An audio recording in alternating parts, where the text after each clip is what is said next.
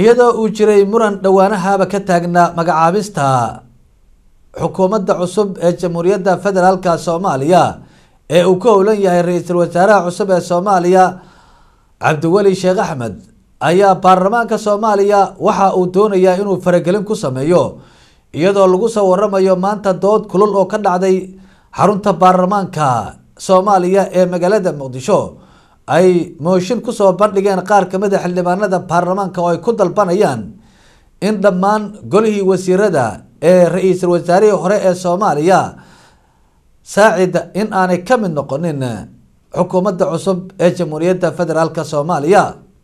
Haddaba doodaasi oo ahayd midii ugu kululeed muddooyinkan ee la qabto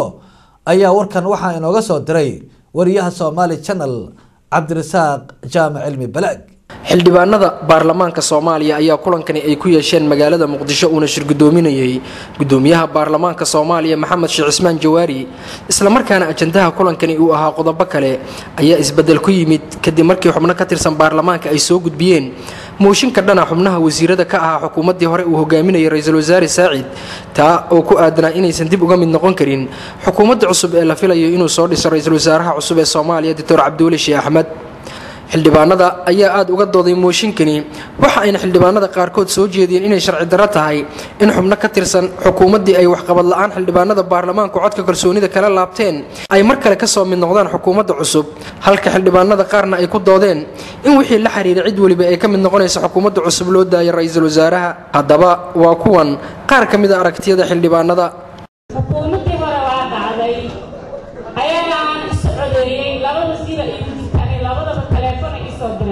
waa natidaysaa natidayda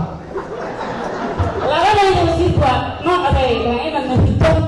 waan u codeeyey waa riday habkana ima dhihi karaan isoo celi. Waan isog yihiin marka horta wax hore u soo dhacay weeye wax dhici karana maaha wasiir hadda xilka laga qaado.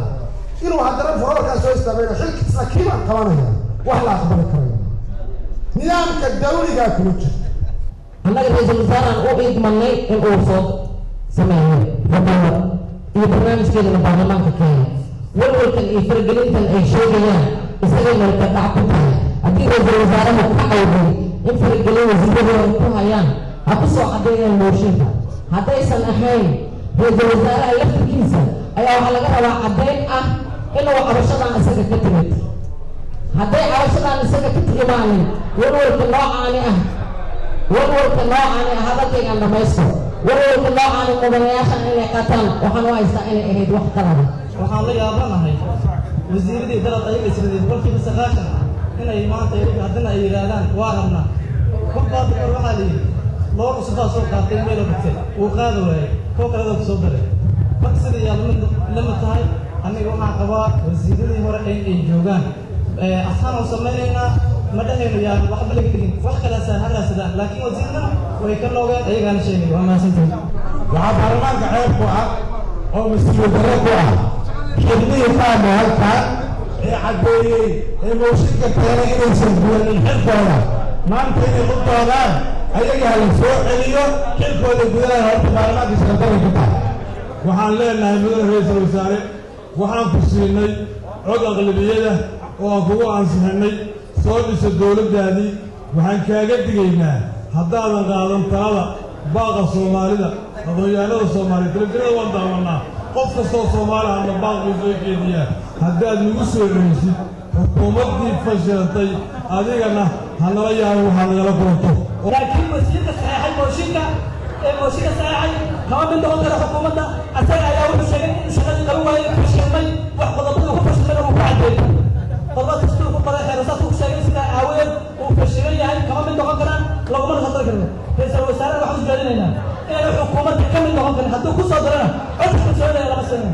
gudoomiyaha baarlamaanka soomaaliya maxamed sheekh cismaan jawaari ayaa isagu gabagabadii kulankani soo xiray waxaana lagu ballansan yahay in afar iyo tobanka bishani codka loo qaado mooshinkani. Cabdirasaaq jaamic cilmi balaag soomaali janaal muqdisho